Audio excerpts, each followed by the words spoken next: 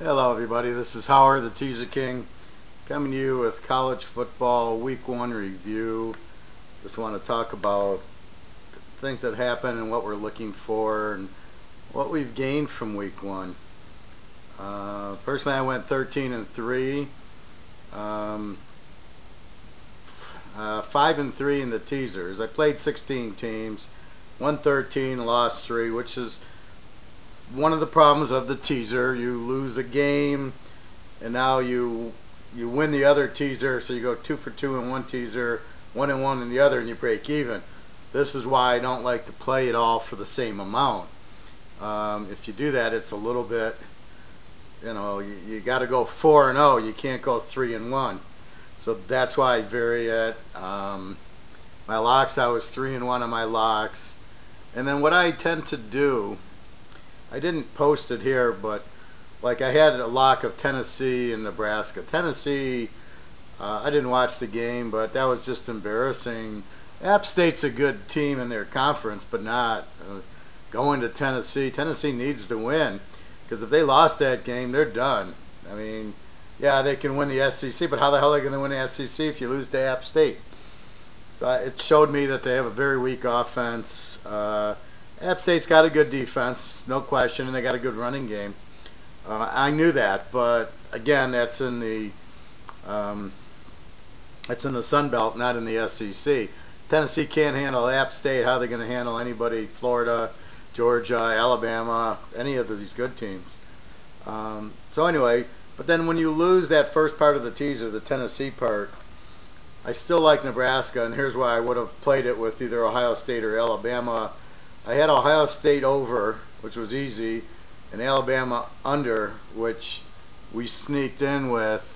Um, I played it earlier at 54 under 60. It's a W. Uh, the line went to 51, 52, so it's a 57 or 58. 58's a push, 57's a loss. So you got to be careful on these over-unders. What I notice is they tend to really jump like from yesterday to today, today's Tuesday till tomorrow. So you really want to get them in the right time if you feel it's going against you. Uh, like maybe a Baylor, you know that spread's going to keep going up. You know you're going to bet them, so you get them in early.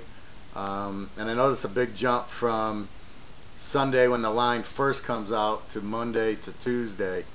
Uh, there can be, I think Ohio State this week already has jumped. I think they're first. They're playing Tulsa. Be an explosive game, a lot of scoring, and they started at like 66. Then they went to 72 already. So you're already laying a teaser in them. Um, but that should be a very explosive game, and that should go over. But you don't want to get it at, at 76, 77. You know, 72, and you tease it to 66 it's a it gives you better odds on winning it. Um, but anyway, so that's these are things I learned. So this is what you want to watch when you got uh, when you lose the first half of the teaser, especially a lock, especially on Thursday, and then the second half of Saturday. Then go ahead and play the lock with another lock. And I don't want to keep putting plays in because that really isn't the point of this. It's to give you the lock. It's to give you the game to play. Um, you know, I had Houston over Oklahoma. Well, that's a win right there. That's one of the 13. Uh, no, you didn't need the teaser, but you did need it in the UCLA game. And so I played Houston with UCLA. UCLA getting 10 or 11. They lose by 7. So that was a winner with the Houston and 18 or whatever. And they easily beat Oklahoma, or as I call them, Choklahoma.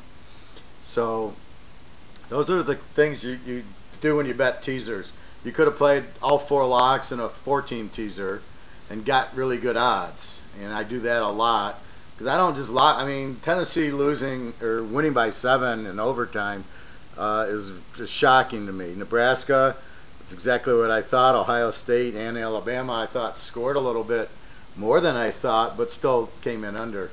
So basically, three out of three and one on the locks. Um, in all the other games I just murdered. I had Michigan dead on. I had I picked the score in the Boise game, uh, and the only other surprise was Arizona. So what do I take out of all this? Well, the Arizona BYU game, I take out that BYU's got a hell of a defense and not that good of an offense. So I now look at teams, are they over teams or under teams? So now I've moved BYU to an under team, going very strong defense. Their offense will get better, but at this point they play a very strong defense. So here I got Utah playing BYU this week, and the over-under on this game is uh, 40, I think 46 and a half, somewhere right around there. And before I would have had, well, BYU's an over team, Utah's an under team, hard to play. Now I got two under teams, and I got a 46 that I can go under 52 on. And I love it. That's like the LSU Wisconsin game that I went under on last week. So basically, it turns it into an under team versus a Utah who's an under team, and it should be a very low scoring game, and you got a 46 down to 52 on it. So that's what I'm saying. So you learn if they can hold, you know, if they can hold Arizona at Arizona, they'll hold Utah. Um, so other teams that I learned with, uh, Indy, uh, I was surprised their offense really. They had a couple of pick sixes. Their defense looks good, but their offense, the new quarterback just isn't that good yet. He might be, but again, when you lose the quarterback, I don't like to bet him too often, and especially overs or that until I get the team down. Is it the system or is it the quarterback? So in this case, this quarterback's not that strong, but they have a better defense. Uh, I thought Ball State's win was was very good. Um, I like them better. Uh, the Army beating Temple is huge because Temple's got a good defense. Kind of shocked there, but as one thing I noted, when you don't play an Army or a Navy or that option team, you end up you can't practice it. So Temple got burned. So I know Temple should have a good defense. I'm kind of letting them play another week, but I am keeping that in the back of my mind. More though, I'm keeping Army being a very good team. They can beat Temple uh, they should be good. So you start watching them. But you can't take too much out of the first week. You want to see the first two or three weeks and you go, okay. Like Florida State, the quarterback, okay, he's another Winston. He looks better than Winston. So now Florida State, who I had as an under team, now comes out. Their quarterback Maguire is injured. This kid comes out, plays terrible. Then he gets it going. So now you go, oh, Florida State looks like they did a couple years ago uh, now they're a dom. Now they're a bet on team. They're an over team. Uh, so you look at it like that. Mississippi's an over team. Great quarterback, great offense, no defense. Um, so by watching the game, you learn. LSU still an under team. Wisconsin looks like they might have a quarterback. Uh, South Alabama, they, they beat Mississippi State. I believe they beat Mississippi State. Uh, yeah, 21-20. What does that tell you? Mm, that's a pretty good team. It's a good dog. When you get them, they're not. They scored 21 on a Mississippi State team. It shows me they'll have a good offense when they play these weaker teams. That's why you need to know are they have strong defenses or weak defenses, and that's what you're looking for. So I say South Alabama probably has a pretty good defense, 21 to 20, and they scored 21 on Mississippi State. Very good.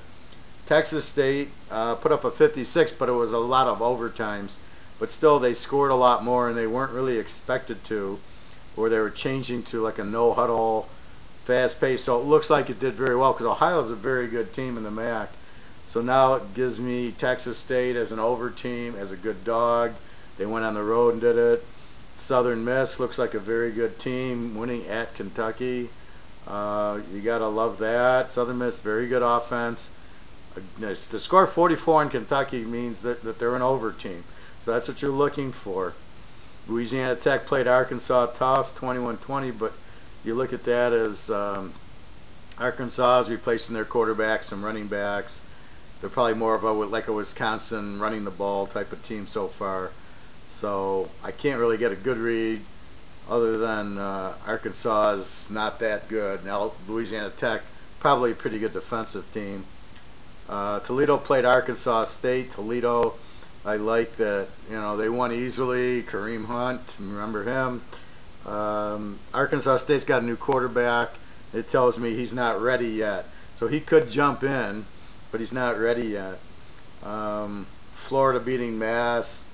Florida, great defensive team. No, I, to score 24 points on Mass is a joke. So Florida's just a great under bet. Uh, Clemson, Auburn. Uh, we know Clemson's got an offense, but Auburn just, you know, it's hard to get a good read on Auburn. They need a quarterback. Without the quarterback, they're an under team. Uh, UCLA showed a lot of grit coming back. Uh, A&M, who knows? Um, you know, they're good teams, basically. Um, Tulsa puts up 45 on San Jose State. Tells me Tulsa's got a good offense, which I know. But it tells me San Jose State doesn't, because Tulsa doesn't have a great defense. And for San Jose State to only put up 10 points tells me they're in trouble. So you want to bet against this team with, when they play good teams. Um, and right now, I mean, they're they're you know you just don't score on Tulsa. That's ridiculous. Uh, I talked about Tennessee and App State. Washington looks like they're it. Uh, it's going to be hard to bet against them, and they're going to be really dominant. Rutgers is terrible, we know. Um, Oklahoma, Houston, we, we talked about that. Oklahoma, way overrated. Houston, probably a top five team. Just think of them as Ohio State. You can't go wrong. In a few weeks, Oklahoma plays Ohio State. The first line I saw on this was Oklahoma laying 12. I'm praying that Oklahoma's favored in the game now. Although I, I doubt it'll probably go down from 12 to a field goal. But I, Ohio State wins that game fairly easily. The way, as long as Barrett's playing, Ohio State will beat Oklahoma uh, easily. Um, Nebraska, Fresno State, just as I thought. Alabama beating SC, so dominant. Um, you know, SC had a new coach, a new quarterback. They weren't going to beat Alabama. I could have played Alabama, but I, I took the under in the game and, and got the win there. I knew USC wasn't going to score. I just didn't think Alabama would, would score that much. Uh, Boise over UL Lafayette. If you go to my video, I hit the score, 45 to 10. I couldn't believe it. Um, Boise's back, very explosive. UL Lafayette's nothing team. It's exactly what I look for when I make a pick. Is you get a nice explosive offense going against a weak defense with a weak offense. So Lafayette's not going to score a lot of points and keep up with them. That's how I determined playing the team versus the over-under. Boise, I knew was going to score a lot. I knew Lafayette wasn't. So I can't risk the over-under in the game, which was 63 and it actually is an under game, but you don't like playing Boise under. But more more importantly, Lafayette has no offense, so therefore it's exactly what I thought would happen is Boise would score 30, 40 points, and Lafayette wasn't going to score very many because they don't have an offense, and uh, so you bet Boise there. Um, Notre Dame, Texas, that's exactly what I thought. Notre Dame had a good offense and a weak defense. Texas with the running quarterback still not sold on them, but you know I like the game. It was revenge, but I don't know where Texas stands except for they have a weak defense again. So I look at Texas maybe as an as an explosive offense. We'll see when they play the big boys, but against Baylor and TCU and Oklahoma State and Oklahoma, all those games should be a mile over now. Um, I won't talk every game, but just the surprises. Ohio State, they're going to be explosive. They're pissed off. They missed the playoffs. Look for them to run the table until they get to Michigan. Uh, Western Michigan, very good team, goes into Northwestern. Did what Stanford couldn't do last year, which was score and win. Keep your eye on Western Michigan. I'll be betting them hard and heavy once they hit the MAC. Uh, and just, they're an explosive team. So 22 on Northwestern with a good defense is a really good thing. But I already know Western Michigan's the, the top team in the MAC there. Uh, Iowa 45, Miami of Ohio 21 just shows me that Miami of Ohio isn't as bad as I thought.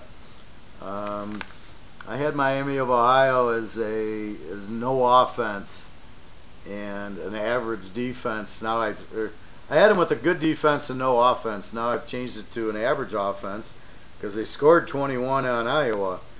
Uh, I don't know if they were garbage touchdowns. I didn't watch the game, but I'm basically looking at them scoring 21 on Iowa, going, yeah, maybe their offense is better than I thought. But I did have Iowa, and there I needed the teaser. It was 27 down to 21, and they win by 24. I got a late touchdown from Iowa. Michigan, exactly what I thought. Hawaii had went to Japan's last Australia. I read somewhere they were in Japan, so that's why I said it. But yeah, but I knew they were traveling a long way and going to Michigan. That was like uh, the easiest game I'll have all year, and I looked for Michigan to do have a dominant defense. Uh, Jourdan didn't even play in the game, the All-American corner, so look for him uh, this week. Um, Stanford, Kansas State, typical Kansas State, good defense, kind of a weak offense. Stanford, you know, just about what I expected. Uh, Colorado, Colorado State. I thought Colorado State would score more. Um, Colorado putting up 44 is impressive for them. Uh, Ball State, Georgia State. Uh, Ball State put up 31 on them. So you you just keep it in conference. But Ball State looks like they could score a little bit more. Um, Minnesota, Oregon State. Oregon State scored a little bit more than I thought they would have. Vandy, South Carolina, exactly the under game that I thought. Western Kentucky Rice, Western Kentucky, the new quarterback threw for 500 yards, just as I thought. Played the game over, got a W. Um, I think Western Kentucky is very solid, very strong again. Why in the hell they're playing Alabama? Alabama's 28 points over Western Kentucky this way. I have no idea what to do. I really hate to bet against Western Kentucky. I can get 34 points. They're not the normal doormat playing Alabama laying 28. This is a very explosive offense. And they went into LSU and put up 20 or 21 last year. They lost like 48 21. Um, so their defense isn't there, but their offense can score on anybody. They'll put up at least 20 on Alabama. Alabama, first of all, is going to be let down after being USC. But if they're not careful, Western Kentucky uh, can definitely score on them. And we know Alabama has trouble with running quarterbacks, and I don't think Western Kentucky's a running quarterback. But if anybody can solve Alabama's defense, Western Kentucky's going to throw the ball all over the field on them, which can't be good for Alabama because Alabama wants to run, have that run defense. So I just look for Western Kentucky to be competitive in the game. Uh, it's a lot of points, 28, and you get 30, you know, 34 in a teaser. Uh, I'm not crazy about it, but I would take Western Kentucky before I took Alabama in that game. Uh, Wake Forest, Tulane, two good under teams. Uh, Louisville, Charlotte. Charlotte's probably the worst team besides uh, UMass. And then Florida International, did Florida International. Uh, pretty weak team. Um, teams that lost. Uh, there was a Virginia lost to like North Virginia or something some Division two team, and they go to Oregon. So just keeping an eye on that. Um, so what I look for teams off of a loss now. So you have Oklahoma, USC, Auburn, Colorado State, Mississippi State, and UCLA. They're all favored off of a loss. They can't afford to lose a second game. Um, but you wonder how good they are. I mean, uh, I know teams normally play better after a loss. It's just common because they're mad and they focus. So, like I think Oklahoma lays 46. I think they, they beat that. SC could beat the 16. I'm not sure if Auburn can beat 19 because they uh, they just don't have a quarterback. Colorado State's a pretty explosive team. Mississippi State, I don't know how bad their quarterback is. And then UCLA, has to play. I don't know how good UNLV, how explosive they are. They scored 50 points against a Division two team. So I honestly don't know. UCLA should handle them, and they should have a big game off of this loss. I think Rosen really goes wild here. But that's what you look for, teams that are off of a loss. And really what I'm trying to gather now is look at the box scores and who's, do I need to adjust? Is a, is a team an over that I thought was an under. And I had a few adjustments to that. Um, San Jose State, I think, might be more of an under team than an over team. Got to be careful. North Texas, I don't know what to do with them. I, all of a sudden, they scored against SMU. I still think they're an under team. They're just a weak team. They're a very bad team. Uh, TCU, I don't know what to do with them because I thought they had a great defense and they let up 20 or 30 points to a Division two team, uh, and I'm thinking if this other Division two team got 20 or 30 on them, you know, I don't know what to. I don't think their defense is as strong as I thought because they have a lot of guys returning from injury. I thought TCU would be a very strong defensive team, so I'm looking at at them as definitely an over. But let's see how good their quarterback is. They got a big game with Arkansas this week. They're laying seven. I could cut it to one. I think if they had that defense, I would definitely have bet them. But now I'm not sure their defense. Now it becomes how good's their new quarterback and everything. So that's why it's hard the first few weeks, and that's why I get better later in the year. If this game's played in five weeks and I've seen TCU and I've seen Arkansas with better competition, I could bet the game much easier. But right now, I don't know how good our TCU's quarterback is or Arkansas's quarterback for that matter. So therefore, I want to bet the quarterback, but it's really hard to in this situation. I can't. So you end up uh, trying to either watch the game or maybe you go over under on the game. But until you know, it's very difficult. The confidence level, all my bets are based on confidence level. The confidence level just is it's too risky. I don't know what to do with this team. Uh, on the other hand, Texas, now I've moved Texas from an under to an over. I don't think they have a defense. Notre Dame lit them up, but on the other hand, now I think Texas has an offense. So strong offense, weak defense, that's an over team all day. And in that league, Oklahoma, Baylor, Oak State, TCU, Texas Tech, West Virginia, all those games are going to be over. Um, so that'll be very interesting. Um, Louisville, I, I don't know if they're an over or an under. Scoring 70, but it's Charlotte. Charlotte's like a high school team, so uh, I think they have a strong defense. This week they play Syracuse, who's going to the Baylor offense. Ran at Bowling Green last year, scoring 40 a game. They didn't they didn't score a lot as much as they should have last week, playing a Division two team. I think they scored like 30 points, and I'm like, that offense should score 70 against that team. So I'm not sure Syracuse is there yet, that they're used to the system yet. Probably five or six games in, you'll see Syracuse start scoring a lot with the Baylor offense. And that's the thing. So here, I don't know that Louisville is that explosive. It should be an over. You got to watch the number, but uh, again, until Syracuse grows up and learns the system, it's hard to. You know, are they going to score the 40? I think but Louisville's defense could hold them in check pretty good. It could be an under game, so it's a very tricky game. But later in the year would probably be an easy over game. Uh, again, Virginia lost. Uh, they got to go to Oregon. I don't know if they're an over or an under. Um, Florida State, I moved from an under to an over. Great defense, no quarterback. All of a sudden, they found a quarterback. Um, look out, them and Clemson are headed for a war but I think Florida State looks like they're, you know, Ole Miss isn't a great defensive team, but still, you couldn't stop uh, Florida State. Um, Cincinnati had a weak game, so I don't know how over they are. But again, it's week one. You gotta, everybody's nervous. You gotta look at that. Uh, Ohio, I moved from an under to an over. Um, I think they have a good offense and an average defense. So I initially had them as an under team, but I think they got a worse defense than I thought to let Texas State put up 56 on them. Uh, granted, it was overtimes, but still, it was a lot of points they gave up to a Texas State team. So I look at that. Uh, Buffalo's terrible. They lost to some Division two team. Um,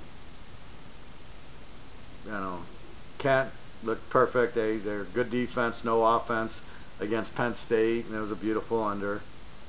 Northern Illinois uh, played Wyoming to a 24-all tie, and then they went to overtime. I hate the overtime; it skews everything, and you got to be careful that the game went to overtime and isn't a straight game, because what happens is you have the overtime, you have the you know, you see the final and it's 38-35, and you think, oh, it's explosive. Then you go, oh no, it was 24-24 and then they scored four touchdowns in the stupid overtime. I, I swear, college football is the stupidest overtime game I've ever seen. You work hard. Why isn't there a kickoff or a punt from the 20? You punt it, something to set it up. To just give them the ball at the 25 is just stupid. And then they score, and then you score, and then they get the ball again. So the first team scores. If the second team scores, then they get the ball again. So they get it twice in a row. How stupid is that? They're worried about injuries. That at the after playing a full game to give a team two chances in a row is absolutely insane. That that ball should be kicked off, and you just run sudden death. I mean, what? Why does each team need? They can't stop them. Why do they get rewarded? Now you get the ball. Well, let's make it fair. Well, it is fair if you play defense. Just play defense. Stop the team. That's it. But this 25 yard line is just probably the dumbest thing I've ever seen. Sorry to rant about that. Uh, tempo we got to see about. Uh, let's see. Georgia, I'm not sure if they're an over. Their quarterback didn't do so well. Their defense, not sure. Arkansas, we're waiting on. Arkansas State, explosive team, but the quarterback didn't look so good. Got to give them a few weeks. And that's the trouble with these new quarterbacks. You have to give them a few weeks. Or the kid from Florida State, you don't even have on your radar. How could you? And now he's there. So this is the adjustments that I make that I do very well with. I'm very good at spotting talent. And so once I see the Florida State kid come in, I see the Arkansas State kid doesn't look that good, but he might get better, or they might switch it three or four weeks in. They're like, this guy's not getting it. We'll put in the new guy, and all of a sudden the new guy lights it up. So that's why I watch the box scores. I'm looking to see which quarterback's doing it, and if he's not, and they switch him. That's where you get screwed the most in this. Is all of a sudden, you know, Arkansas State's quarterback's not doing well. It's three, four weeks in. Now they replace him, but nobody knows about it. Boom, the other kid comes in, six touchdowns. Boom, they're back to an explosive team. But you're screwed because you bet them under or you bet against them because their quarterback isn't good. And then you got to catch on to the new kid. So you just got to be careful with that. Um, that's about it. I mean, just looking at that, uh, I see a lot of very strong games, a lot of over-unders that are very uh, good this weekend, um, and some other good games. Uh, this should be a very good week. This will also be the first week on pros. Uh, I did have one guy buy the pro and college package last week, and I don't do exhibition games, so um, I am discounting this week's package when he buys. I'll take the 50 off because it was 150, so minus you know just 100 for the college. So I'll give him the package, you know, for the 100 and just apply the 50. But uh, yeah, from now on it'll be pros in college, and there'll be the locks. And again, I'm telling you how many units to play. If you're a hundred dollar player, you want to play ten or twenty dollar units. If I give you a five unit game, that's your hundred. The locks were played at seven units, and so you'd have bet 140. And that's the idea to bet more. And then the locks, you could have played Ohio State in two or three teasers. Uh, you could have played uh, Nebraska after Tennessee lost with Ohio State in a teaser or with Alabama or with Boise or Michigan. So definitely I do a lot of that where I will play a team in two or three teasers. Uh, I think sometimes I do it on here and it confuses people and they don't they, they I, I'm at such a high level they can't follow me. They don't understand if I like two games and I lock them and the first part of the lock loses, I play the lock because I still love the lock and I play it in another game in another lock. Uh, so just understand that that's the, that's the thing with the teaser. If the first game loses, you still love the second game. You just play the second game in another teaser, and that's kind of what you do. Um, so it, it's uh, there's a lot into it. You vary your bets, you, you vary your amounts, and if you lose the first game, you bet, and you love the second game, you bet it. Sometimes you just leave it alone. If it's a, a, regular, if it's a five unit and I lose the first one, I don't monkey around with the second one. But if it's a lock, like Nebraska, I knew was going to go, then you know you're playing with Ohio State, let's say, or playing with Alabama or uh, one of the other teams that I gave you, and uh, then you go from there.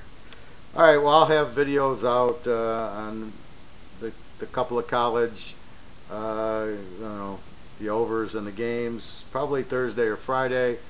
and then the pros, I'll have a video out on them. Uh, the pros are going to be very difficult the first two weeks. Uh, they don't play anybody in the preseason anymore, and what I mean by that is they don't play their players. So all of a sudden, the first game, the players aren't used to it. They haven't been hit. They don't have stamina, and the first week or two are terrible games to pick, to be watched. The the, the quality's not there, and a lot of injuries happen because they're not playing. They should never rest these guys on the fourth week. I think that's just insane. Uh, that's when you should play these guys a half and get them into condition to play. This is football. People get hurt. So what? What are you going to do? Not not leave the house? Just stay in the house. Stay in your bedroom. Don't leave until the first week. I mean, it's it's just it's insane. It's just absolutely stupid. Yeah, I, I mean, I know Teddy Bridgewater got hurt. So what? He he could have got hurt in the first play of the first week. I mean, it doesn't matter. You got to play and practice and get better.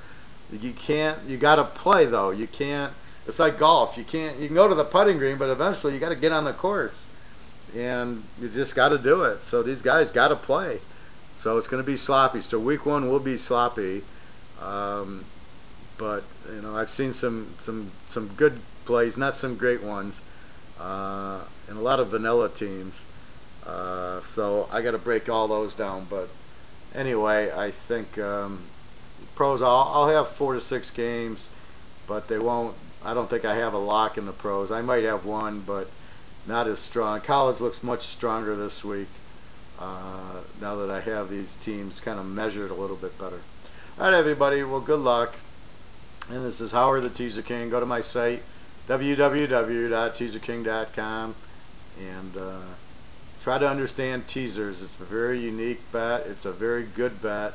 That's why the odds are 13 to 10. If it was a sucker bet, the odds would be even money, or or 10 to 8, or you know they'd be giving you money. But um, you know, you go to MGM in Vegas, it's 13 to 10. If these were such sucker bets, they would they'd be 10 to 10, not 13 to 10. Keep that in mind. They're not sucker bets.